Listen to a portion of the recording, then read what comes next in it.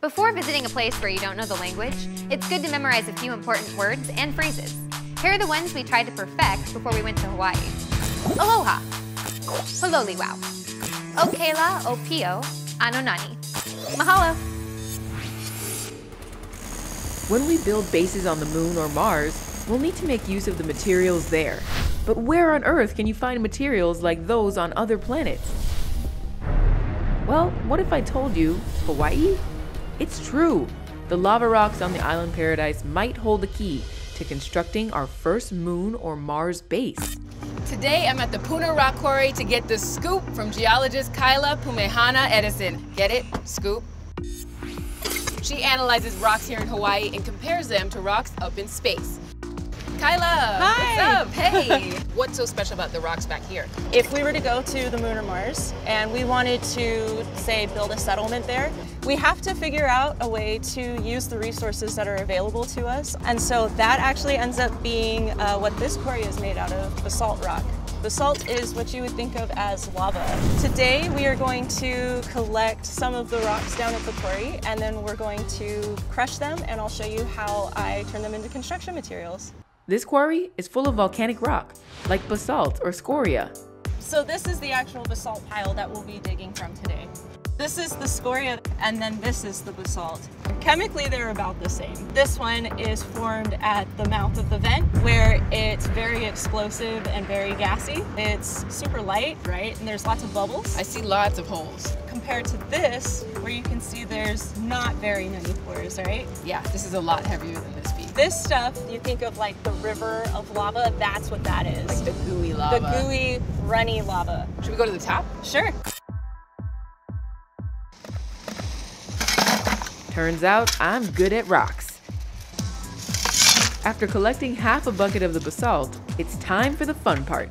So this is my rock crusher. This is how we're gonna turn the rocks into a powder. Once we trade our hard hats for respirator masks and safety goggles, it's crush time. I drop the rocks in, they get crushed, Kyla drops them down into the bucket, and repeat. Until we get enough powdered rock to work with. But to use this material, we need to head over to Kyla's garage of science. So the next step is to put it into the sieve.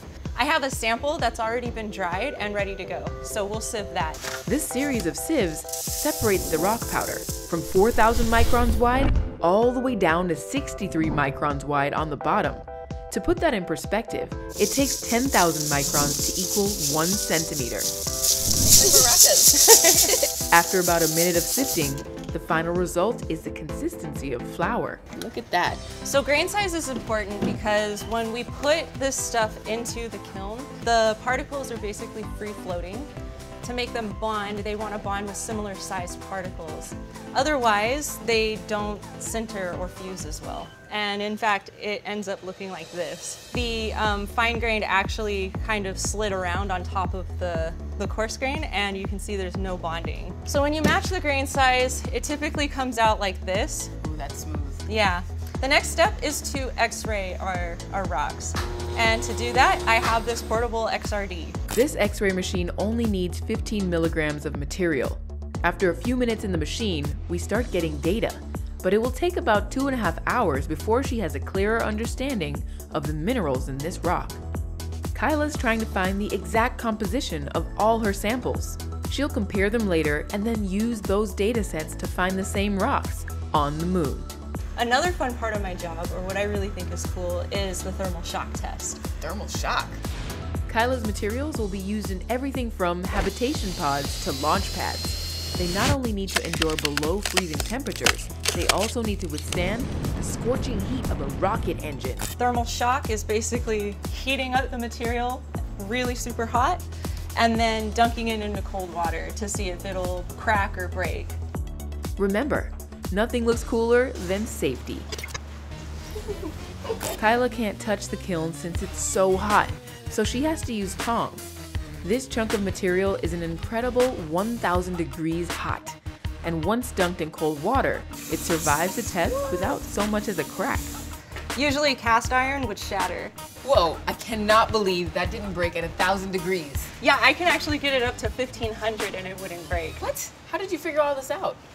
Um, basically, it's just trial and error. Trying something new, seeing what happens, recording that, and then trying something else. Or at least learning from the mistakes that I made beforehand. And what does the final product look like?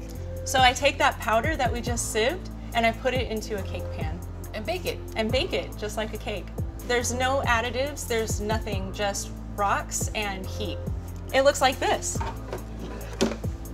Ooh, so smooth and beautiful. It's a little bit iridescent. Actually resembles a lot like what lava does when it's done cooling. Kyla, thank you so much for having me out here today. I'm gonna look at rocks in a whole new light. And next time you're in Hawaii, feel free to come back to my garage and crush more rocks. I'm down with it. Thanks, Kyla.